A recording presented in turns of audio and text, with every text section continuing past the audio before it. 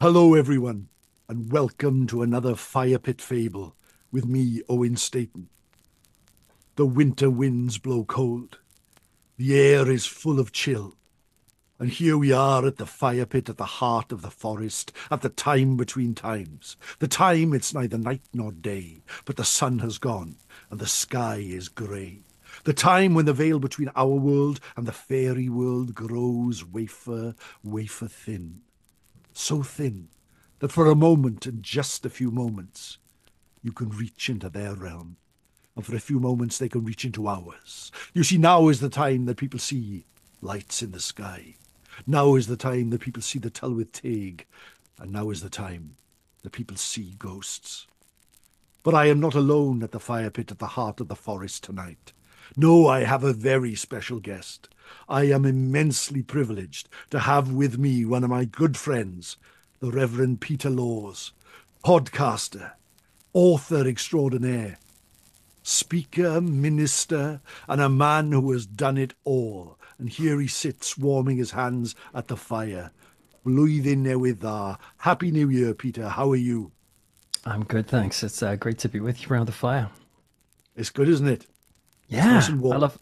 Yeah, I love being out in these sorts of places. Uh, you know, it's it's so weird. I think that um, like fire can be so mesmerizing because technically it's just things waving around, but it's it just freaks me out at the thought that everyone, when they're around a fire, just kind of looks at it and keeps looking at it.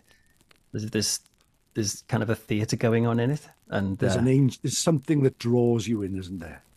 There is. It's similar to the sea. I find it similar to the us. sea. Yeah, at the, at the trees, and there yeah. the forest. You see the shadows and shadows, shadows, and you know there are things out there, things from story, things that we speak about, but we always feel safe at the fireplace. That's right. Although you are creeping me out a bit now that you mentioned those shadows. I'm just just looking over my shoulder. I think I see Peter, the claw. You've come, you've come here tonight you're a podcaster extraordinaire. You're a minister. You're an author. You're a speaker, a public speaker. You're an uncanny um, cast member, if you like. All mm. these things. Take us back, Peter. How did this all come about? Where did this interest come from? You have a great interest in horror. You have a great mm. interest in the supernatural, in 80s, 80s culture, old films. Mm. All these things. Where did all that start? Don't um, say in the I, 80s. I, yeah, I think it probably started at birth in the sense that it's a natural part of my my psyche that I'm just the type of person who I remember at school if people were talking about uh, there's a uh, you know there's football going on or, or, people were excited about something on television I would kind of try my best to get into it or and I remember buying the uh, the Panini sticker albums so, so see if I could learn all of the football names so I wouldn't feel like such a kind of fraud as a boy um, but really, that didn't interest me at all. It was when people mentioned stories about UFOs or uh, ghosts or any anything really that that just opened up a possibility that my hometown had an access point to adventure. I think like the film ET really meant a lot to me when I was growing up. Not not so much about the little ET alien. I used to find him a bit freaky, to be honest. And I've always wondered, uh, Owen, what happens if you go back to ET's home planet and you find that um, all of his fellow aliens are wearing clothes. that. You know, it could be some sort of weird pest. But anyway, that aside, yeah, uh, I, I I had this. I, I, used to I used to dream about ET, and I used to lie and I listened to um, John Williams' soundtrack of the the Adventure on Earth, which is this whole bit of fifteen minute piece of music at the end of the film, and I would visualize and fantasize about being taken away from the school playground and whisked away to some other planet. I used to sometimes even say to my my parents, uh, "I've got a feeling that maybe you're not my real parents. I think I'm probably adopted because I felt so different, you know, but not different in a bad way. I just kind of felt there's some I am meant for magic uh, to to sound a little bit over the top about it, but that's what it felt.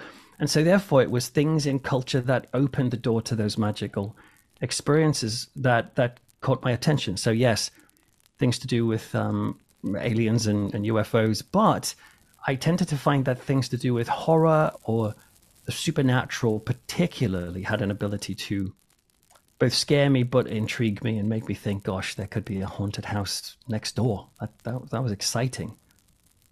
We're a similar age. Um, I know this. We've discussed it mm. before. I can see the last few years you've been doing your podcast thing. You've got wildly successful books out. You're well known in the paranormal community. When you left school, what did you do first? Were you always interested in this line of work? Or I know this is something that didn't exist then, but were no, you always yeah. looking at you know, going in down the road that you've gone down, really. Yeah, well, well, I mean, certainly uh, there's a kind of consistency in the sense that when I was a, a teenager, and I'm talking about a young teenager, like uh, 12, 13, 14, I wanted to be a horror author. That was kind of, you know, very, very typical, but it was like, imagine you could be Stephen King. And not only Stephen King, but also his books. So many of his books were about authors. And I love the idea of mm. authors going to their hometown or some other uh, weird place and researching a book and, and then discovering something scary. And so I thought that would be an amazing job to have. So I, I initially wanted to be an author, but then I discovered music and, and started to learn how to play like the piano and then guitar and then taught myself drums and then singing. And, and, and it was really just anything creative. I just wanted to I like the idea of having a blank page, and then by the 15 minutes later, it's ah, it's now a new thing that didn't exist before. But when I left university, it was when well, university was quite a life changing experience for me because that's where I became a Christian, and that was really not expected. I was very anti Christian up to that point, and so it was really a shock to me. To what were you that. studying, Peter? Um, well, I studied uh, originally. I did um, applied. Well, I did applied social science. Sorry, at, at, at Lancaster, and some criminology and some philosophy. But I originally went to Nottingham Trent to study something through clearing because I I wanted to do advertising at Lancaster and I didn't have the right combination of grades, and so I ended up going to Nottingham through clearing, and that didn't work out, and so I went back to Lancaster to study to study um, sociology and science because I, I, I like that sort of thing, kind of got that sort of brain. But it was there, like I said, when I when I became a Christian, and then that suddenly put an option on my table which I wasn't expecting, which was it's like a whole like subculture. I had no idea there was such a thing as Christian bookshops, Christian bands, Christian authors, and also you know church ministers and stuff. Because I had never set foot in that sort of place before because I hated that stuff. And so yeah, it was when I became a Christian after university. I joined a band, and I was touring with a band, singing in a band, and we were touring through England and Wales. So not England and Ireland and um, Germany. And on the on those travels, I bumped into a church in a place called Chesham in Buckinghamshire who were looking for a youth worker.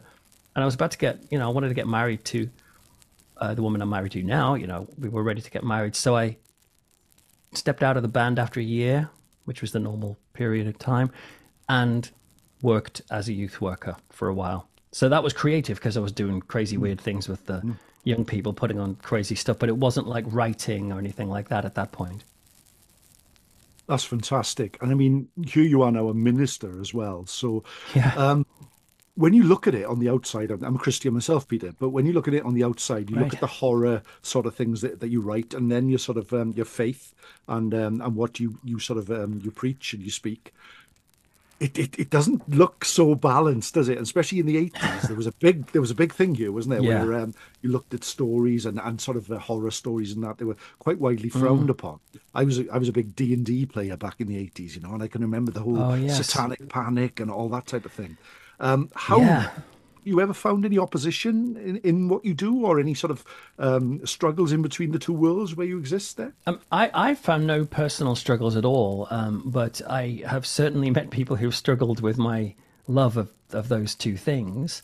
I, I see them all part as this, the same continuum. Uh, the people who are interested in the paranormal, and I've, I've said this for quite a while. I've written stuff about this. Uh, like the, the the reason why uncanny, for example, is so popular is not just because people are interested in ghosts. I do, with my kind of sociologist hat on, think it's part of almost like a new religious movement. Uh, a, a rediscovery of a spirituality that makes sense for the modern age, a sense of kind of testable spirituality that doesn't make any kind of unreasonable moral demands on us, but just opens up a door to the possibilities of, of a kind of spectral realm and says, is, Are we alone? Which are very similar questions to what's asked at churches.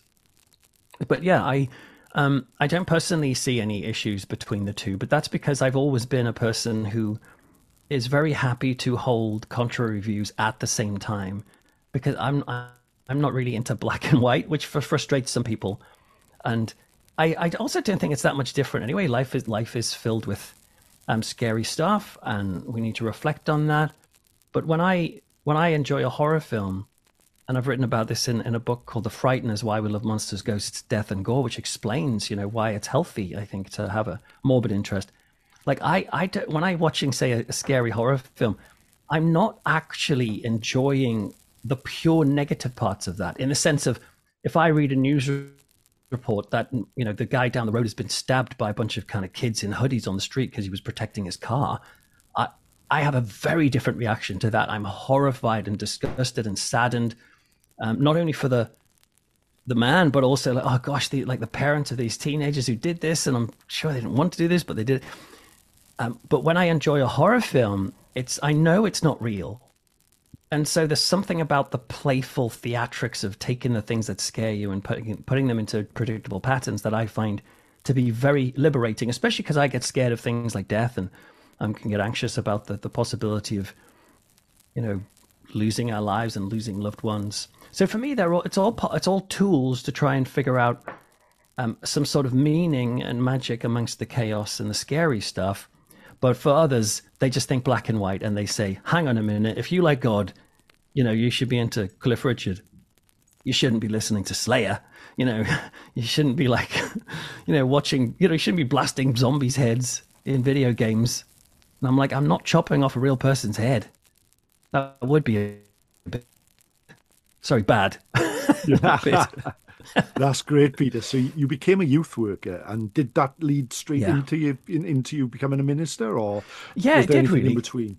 Okay. No, it, it did because I mean I was I was working as a youth worker for six years and I was trying to figure out what to do next and um, you do start getting people in churches say, "Oh, well, have you thought about becoming a church minister?" You know, for all ages. And I was very reluctant to do that. I wasn't very keen. And so my wife and I decided, let's try an experiment. And um, we said, let's let's pray a prayer uh, where we'll put this to the test and we'll say, we'll I'll consider becoming a minister if 50 individual people, independent of one another, randomly come up to me and say the sentence, I think you should be a church minister. and we deliberately set that quite high because I just thought I didn't really want to do that. And I, and I didn't expect anyone would actually do that. But my wife would keep a little tally of people who would say it to her. And then I would keep a tally in a book who would say it to me and we noticed around this time we would get back together on an evening, you know, over dinner, and we'd say, "Who said it to you today? Anybody?"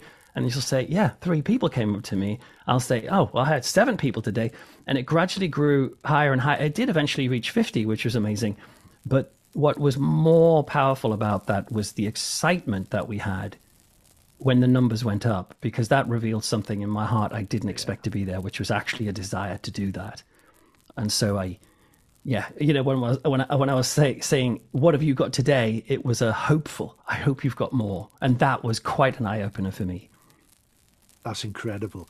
So you become a minister. At what point then did you decide to start to go back to your, your initial dreams mm. of becoming a writer of um, uh, the podcasting? You know, getting out there and, and, being a voice really in the in the sort of supernatural community. You know.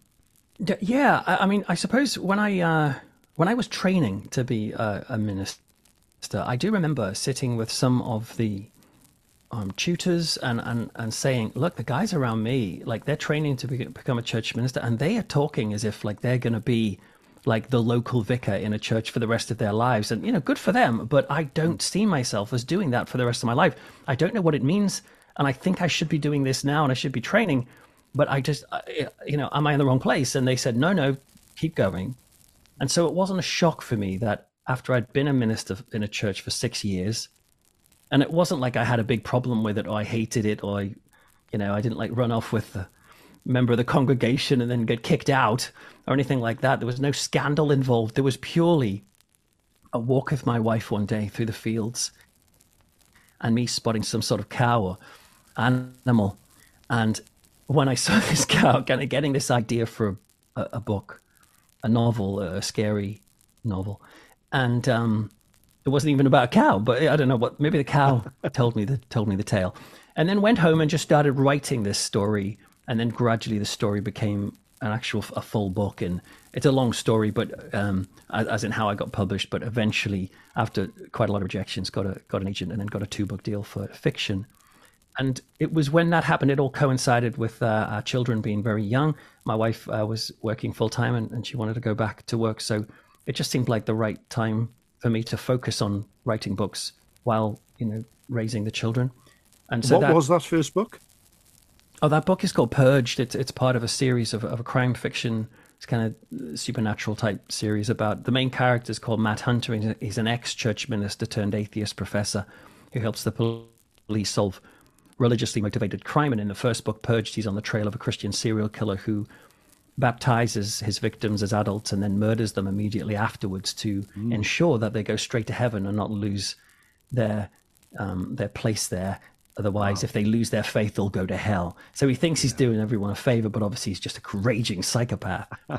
um, but anyway, so so writing those books was was a real kind of trip for me. Although you know, challenging not just to write, but to kind of get people on board with reading them because my publisher was it was great, but it wasn't a, a huge publisher.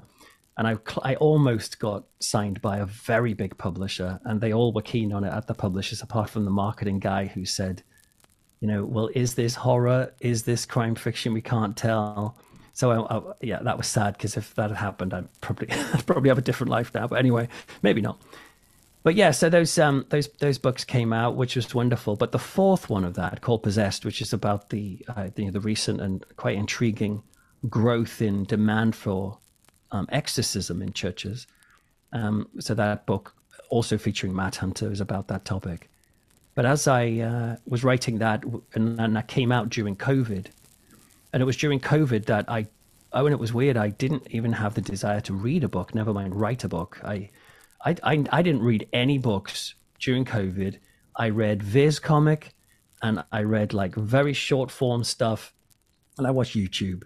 And I watched films and stuff like that, but I had no interest in creating something long form. And that's when podcasting came back into my life. I had I had done some podcasting actually. I was kind of one of the early guys back in uh, 2007. I had a podcast about uh, films and the horror films and the uh, religious aspects of them. But uh, if only Owen, I'd started with Frightful, which is my current podcast, which is Scary yeah. True Stories. Because if I'd started Scary True Stories back then, you know, probably because I was so early, I probably would have kind of had a much. I mean, it's pretty big, Frightful, but it would have been even bigger. But um, no, I started with obscure. Hey, let's watch. Uh, let's watch Stephen King's Carrie and try and work out the theological parts. so anyway, anyway, that had a bit of a following, but it was very niche but yeah, podcasting came along, and, and so I started a, a, podcast called Creepy Cove Community Church, which is uh, a very strange, uh, like songs of praise meets Stephen King. And I did that because I felt, I just really felt for the people during COVID who were isolated in their homes and didn't have any kind of natural community to go to online. Whereas me in a ch- in the church world had had loads of invitations to, oh, do you want to come to our church service online? And people were just connecting uh, left, right, and center at home through Zoom and stuff. And I thought, wait a minute, there's no reason why, you know, my anybody, no matter what they believe, they might want to go to church, but it doesn't have to be a church that forces them to believe anything. So I thought, why not create a fictional church that's set in a haunted fishing town and um, got vampires and monsters in it, and let's just put the services out with full songs, and it's like you're attending church, and and, and that's when I started getting back into podcasting because that that was quite a special little show to work on. That was great, and you do our Curious Past as well, which um, yes, uh, that's right. Which that's yeah. that's popular as well, isn't it? That's going really well. Uh, yeah, well, I mean, you know, it's it's popular in the sense that you know in the podcasting world, I'm very fortunate to get adverts and get uh, get companies to want to advertise on on both Frightful and our curious past. Although that can be up and down. You know, sometimes you know, over the in 2023, there was a, a, couple of months where there was no ads, and that that's a real challenge because no ads makes no money. So that it can it can be a real challenge. But you know, they they, they pick back up sometimes. But Creepy Cove was um, was simply too niche to get any advertisers interested, and I totally got that. And that's when I started my Patreon because I thought, no, you know, and I, I, no one's going to want to advertise on this, but there there are I was so touched by people contacting me saying things like, listen, I'm a Satanist. I'm an atheist or, or a humanist or whatever. I do not like church, but I love attending Creepy Cove. You know, attending as in on online. Yeah. And um, I started setting up the, the Patreon, and the Patreon's still going, and that's been just a, a, a really magical little little group, and such such a core encouragement for me. You also have a great interest in the supernatural. I mean, you've written for the Fortean mm. Times, you've appeared on Uncanny. I mean, growing up to me, a hero of mine was always Father Lionel Fanthorpe, you know? So, um, oh, um, yes. You're, almost like yeah, I had pizza new, with him. Uh, yeah. Oh, wow. Um, yeah, he's a lovely, lovely guy. Yeah. yeah. But you, you, know, you've gone down a similar route to himself. How did that come about? How did you um, get onto Uncanny? How did the Fortean sort of writing come along and that sort of thing? Well, yeah, that's a great question. I mean, the Fortean Times, I'd, I'd always been a fan of that magazine, uh, you know, and and and kind of it, it's quite hard to get into the magazine, as in like to get a get an article published. And so I thought, oh gosh, it'd be great to do that. And then it was just I I did my master's degree, and for my master's thesis, I explored the the links between horror films and uh, and religion. That, and this is when I started doing the podcast, basically, because the podcast was a part of exploring that topic. And uh, as I did that, I thought oh, I could maybe pitch an article for this to the Fortean Times, which I did. And thankfully, the editor liked it and, and wanted to run it, so he did. And then after that, I started writing reviews for um, horror movies for them.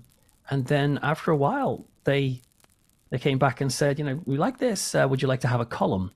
And ever since then, and this is like 10 years ago, ever since, for the last 10 years, I've written a, a monthly column for the Fortean Times, which just kind of is, blows my mind a bit, really, and occasional articles for them on topics. And of course, the Fortean Times is all about the paranormal, even though my, a lot of my stuff for them is about horror. It's about like supernatural horror and, and ghosts and whatnot. Because uh, again, I've always been interested in that because they have helped me uh, consider that maybe there is hope beyond death. to be too, not to be too grand about it, uh, mm. which is exactly the similar reason why I'm attracted to religion. Uh, although I'm also put off religion in many many ways, but I'm sure we don't have time to go into all of that. But I'm not I'm not your typical Christian, I suppose. I've been I've been banned from churches. I mean, like the church I was Uh, in for 10 years like I, am not, not allowed to go there anymore i'm not allowed to preach there anymore because I, I said i was happy for people to be gay. So, so it's that it's you know it, it hasn't been without its its its opposition. Yeah. but the but the supernatural has been a passion of mine and an interest. And then i think because i had like i don't know if it was because i had the frighteners out which was explaining why it was fine to like this stuff or because of my link with the Fortean Times. I, am not sure, but Danny Robins just contacted me, and this was in the very early days of Uncanny, and asked if I would be willing to be an expert on series one, episode one. And so I was the, on the very, very first episode, which was fantastic because it was like such a core episode in, uh, um, in, in that, you know, the bloody hell Ken episode. Yeah. Uh, and after that, it's been, you know, my uh, privilege to be invited for all I've been on all seasons now, and it's it's it's it's great to be a part of that. It's it's it's a it's a privilege, you know. It's um it's been amazing to see how that's. It's always grown. it's always a joy to listen to you on that, Peter, as well. Oh, you're you. really you're really busy. I can tell you're really successful. The books are out there, the podcasts are going strong, um, your ministry as well, as well as the uncanny and, and and speaking. What do you do to relax?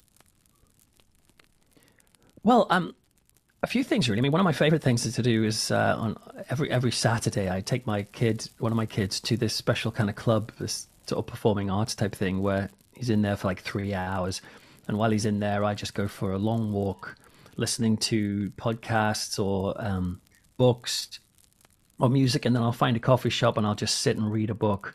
And I, they are precious times for me. I just love the walk and then the sitting down and reading Viz comic or some book on the paranormal or whatever. Uh, that that's really lovely. But also, I I mean, I I I, I, I kind of like recently, for example, like I replaced my uh, virtual reality headset with a Meta Quest 3 and um, I, I do love like you know I mean I've got a slight injury on my hand because I was like fighting a dragon demon last night with sword fighting in my back room and I got a bit carried away and punched a wall but you know just being immersed in these virtual worlds uh, is I, I, that I find that relaxing um, but, all, but I mean I, I do kind of I do exercise and like I do yoga and that sort of stuff and that always used to be a grind and then somehow just one day it just was like wow this is quite life giving. Now I'm into it. I think it was when I got an Apple Watch and I could measure everything. yeah, yeah. and I was like, oh wow, it's like a competition with myself. Yeah. So yeah, I, I, I am good at relaxing. You know, I um I like to relax. I've met some, I've particularly ministers, Owen, who they they seem to think it's a, a big badge of honor to never take a day off. And yeah. I just look at those people and say, well, yeah, I hope you enjoy your breakdown when it comes. We're um, the fire is growing um, low, Peter, and the night grows dark. So our mm. time mm. is is almost almost at an end here. Whenever I ask someone to come to the fire pit, I always ask them to think about stories um, that have meant something to them, or um, something that in their past has always excited them, or a tale they would like me to tell. Now, when we we spoke about you coming on the podcast, you mm. mentioned something that was quite different, and um, would you like to tell um, our friends what that was, or what what tale you'd like me to tell? Yeah, when you asked me for, to tell a, that you were going to tell a tale, I, like immediately, without even thinking about it, my favorite poem uh, from Edgar Allan Poe came to mind, which is Annabel Lee, and I I just adore this poem. And it's not, I mean, it's not like I'm big into poetry, by the way. So when I say it's my favorite poem, you know, it's not like I read a lot of poetry, but this is one of those poems that just it moves me. It's this thought of kind of a, a man who has lost lost his love, and it, and it means a lot to me. The poem, and, and, I once had to read it out somewhere, and I couldn't get through it because I just found myself getting upset because uh, it's so moving. And sometimes I do this. I, I I can read just language itself, and the way a sentence is structured even if it's not about something moving, I find myself getting emotionally moved because I think something amazing is going on with these words here and they're touching me. And this is a, is a poem that has lots of that. So I love that. But, but one of the reasons as well why it's special to me is because I, I mean, I've been privileged to, you know, go to places like horror conventions and stuff where I've been on the bill with other people and I'm just this little lowly guy signing books. Um, but I remember once I went to dinner with um, with a bunch of different kind of horror stars, and then I had breakfast in the morning with a, an actor called Jeffrey Combs who played um, a Reanimator, who's one of my favorite. He was in Star Trek and stuff, but he was in one of my favorite horror films called Reanimator, and he was doing an Edgar Allan Poe one man show, and I just over breakfast told him about Annabel Lee that I loved it, and he just like put down his croissant or whatever and just burst into the whole thing in in character in this pub, and I just remember thinking like, oh my goodness! And like the night before, uh, Dee Wallace, the actress who you know plays um the mother in ET, like we went out with her and she bought me Wagamamas, and then I'm there with like some guy out the Lost Boys, and I'm there with all these Italian horror film directors I've always respected and having drinks with them, and that whole weekend was amazing. And this poem was uh, just like wow, a, gl- a glimpse into into into magic, and um, and it's sad but moving. That was a very long introduction. Sorry. no, not at all. And I will, I will do my best to do to do justice to Annabel Lee for I'm you. Sure, you will. Um, before I go into that, uh, I'm sure our friends have enjoyed our chat here tonight. I've, I've really, really enjoyed Peter, and I'm, I'm so grateful for you joining me tonight. Where can people find you if they want to hear more from you? Well, I mean, it, probably the best place to go is peterlaws.co.uk, which is kind of the, the central hub of all of my stuff. So there's books and podcasts and, and other things there.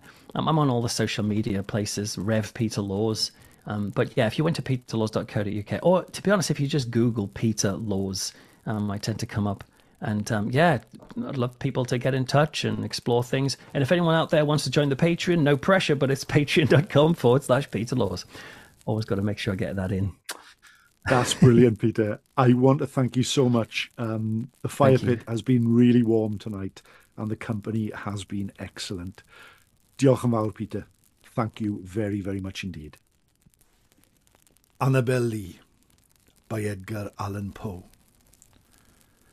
It was many and many a year ago, in a kingdom by the sea, that a maiden there lived whom you may know by the name of Annabel Lee.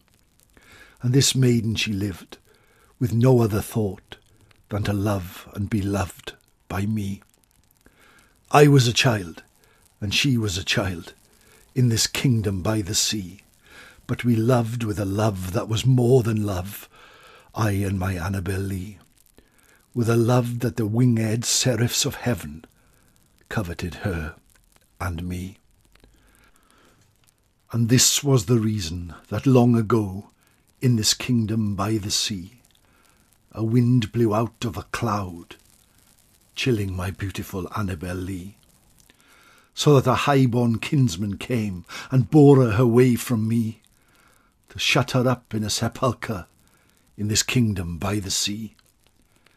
The angels not so happy in heaven went envying her and me, Yes, that was the reason, as all men know, in this kingdom by the sea, that the wind came out of the cloud by night, chilling and killing my Annabel Lee.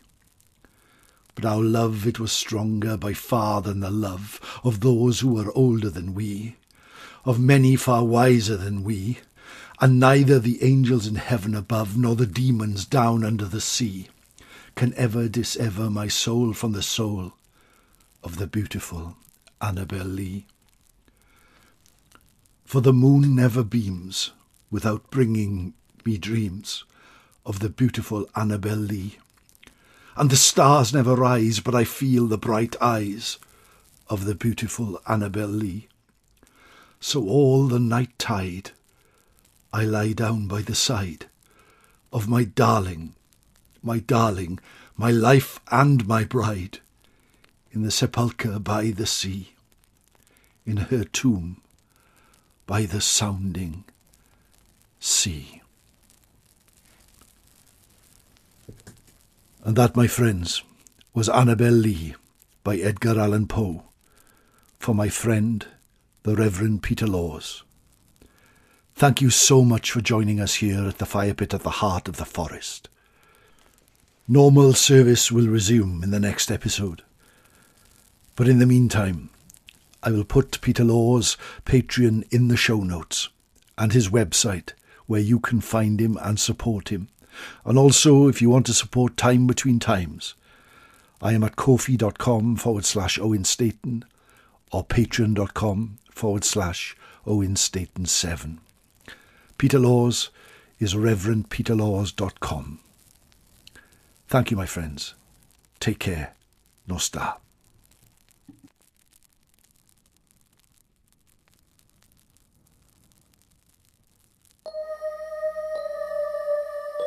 Oh.